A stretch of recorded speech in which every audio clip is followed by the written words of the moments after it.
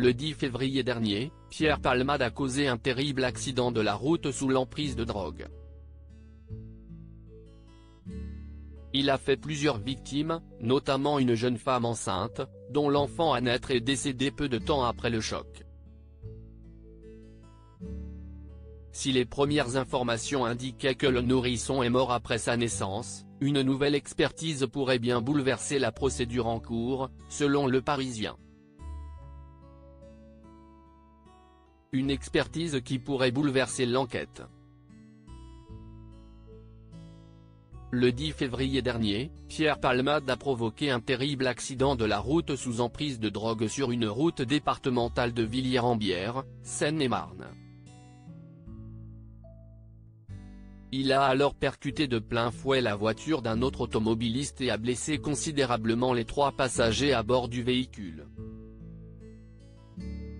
Parmi elles, une jeune femme de 27 ans, enceinte, dont l'enfant à naître est décédé peu de temps après le choc, son terme était le 14 mai 2023.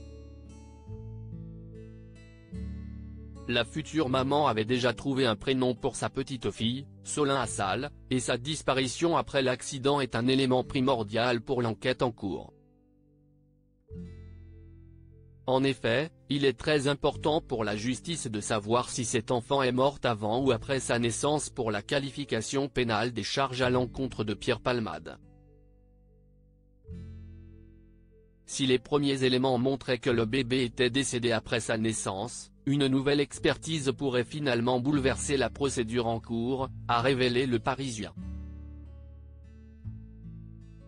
Ainsi, cela entraînerait l'abandon des charges pour homicide volontaire contre le comédien.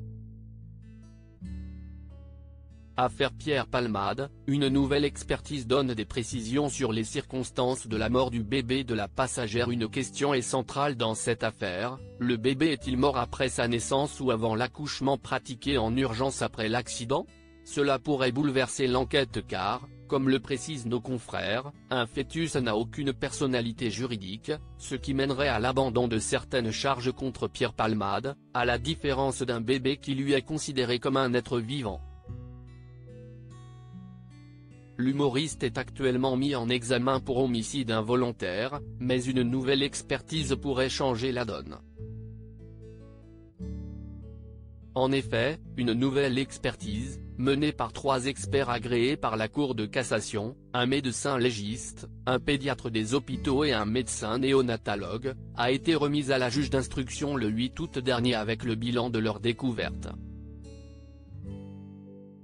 Affaire Pierre Palmade, les experts affirment dans leur compte-rendu que l'enfant est décédé avant l'accouchement Les trois experts ont confirmé dans leur compte-rendu que le bébé était viable à la naissance puisqu'il a dépassé le seuil de viabilité fixé à 24 semaines. Cependant, ils ont affirmé qu'il n'y a eu aucun signe de vie extra-utérine, c'est-à-dire qu'il était déjà décédé avant l'accouchement. L'état clinique observé chez l'enfant immédiatement après son extraction du corps utérin maternel est clairement et indiscutablement celui d'un état de mort constitué, pas de réactivité motrice, pas de mouvement spontané réflexe de respiration, ont-ils expliqué. Il précise également que l'état de mort de l'enfant était constitué, et ce, même s'il a été possible d'observer un rythme cardiaque à 5 reprises après sa naissance car ils étaient sous le seuil de 60 battements par minute, donc sans incidence vitale. Une telle reprise d'activité cardiaque spontanée, après plus de 15 minutes d'un arrêt total, n'est pas constitutive d'un état de vitalité permettant de définir la vie, ont-ils continué. Affaire Palmade, la juge peut désormais requalifier la mise en examen du comédien Les experts sont également formels, l'enfant n'a à aucun moment présenté de signe de vie extra-utérine après sa naissance. Et de conclure, tous les arguments indiquent que Solin Assal a été victime d'une mort fétale in utero dont la survenue peut être datée entre 21h50 et 22h10, soit au plus tard 8 minutes après l'heure déclarée de sa naissance.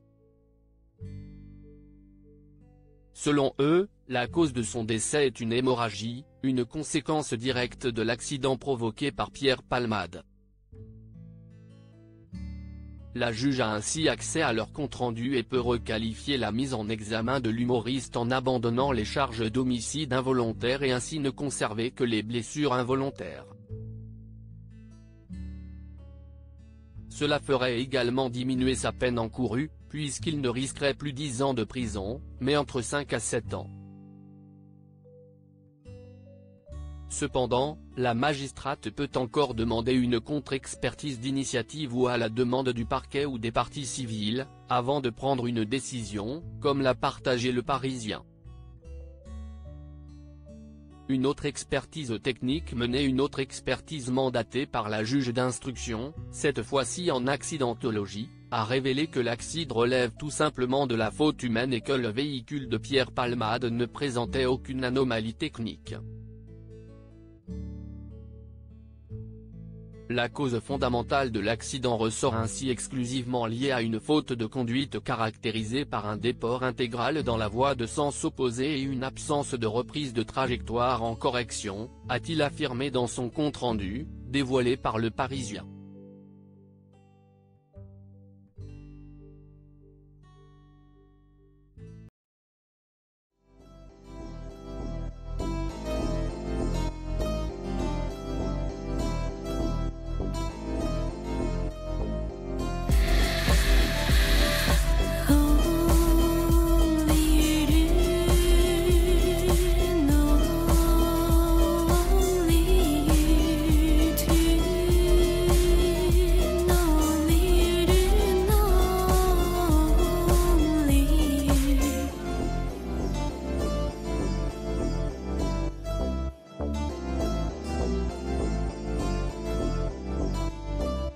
You.